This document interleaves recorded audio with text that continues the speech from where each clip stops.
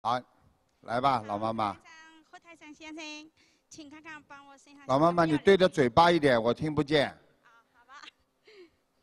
你好，何台长先生。嗯，我是一九七八年生的，属马的。好，七八年属马的是吧？嗯。嗯。看到了，请讲吧，你想问什么？我想问问我身上有没有人性？老妈妈，你打胎过孩子的，掉过孩子的？呃，对。鼓掌。啊。老妈妈，我告诉你，你现在最大的问题是，第一是腰不好。对。第二是关节不好。对。对对对。老妈妈，你知道你现在这个小孩子打跳的孩子在你身上什么部位知道吗？在你肚子上，小肚子上，所以你的肚子经常吃东西，到了肠胃部分就不消化，而且经常肚子痛，妇科也不好。对。对对对。明白了吗？明白了。你呢，把它念掉就好了。你这个老妈妈呢，我跟你说，你年纪不大。啊，我也不应该叫你老妈妈，我看你年纪蛮轻的，刚刚没看清楚，就看图腾了，忘了看他了。你呢？这样，你赶快把它念掉，会好很多。而且你有一个孩子当中啊，是来要债的，听得懂吗？听懂了。你的孩子是来要债的，所以你不要生气。嗯。这孩子要完了以后就不会理你了，明白吗？嗯。所以呢，这个孩子呢，你就放下，好好跟他念解结咒。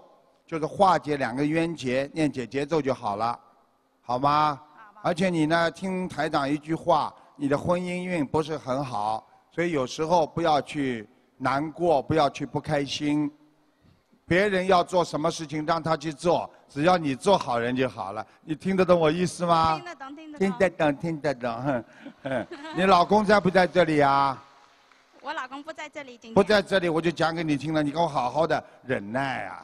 啊，因为你老公桃花运很足的，听得懂了吗？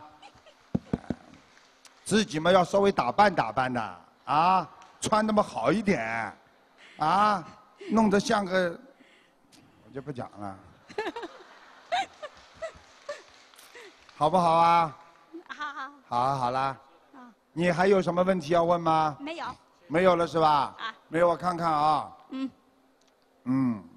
那就这点问题，心脏稍微当心一点，你的胸闷气急，听得懂吗？听得懂。你不要生气，你就是一直生气，你的心脏不是太好，明白了吗？明白了。其他没有什么，我就告诉你，你多念念心经，多念念解结咒，就好了。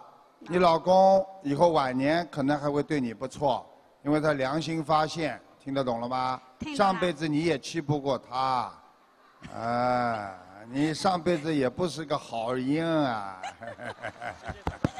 好谢谢谢谢谢谢谢谢谢谢大家谢谢大家好好念经啊嗯一定会好起来的好吗好好好我看你们家我刚刚都看到你们家里了你们家里也不是很大明白吗但是呢还挺干净的你这个人很很努力在家里啊弄得挺干净的我看我看床啊什么都弄得很干净的房子不大啊好谢谢对对对对对对，好啦。好啦。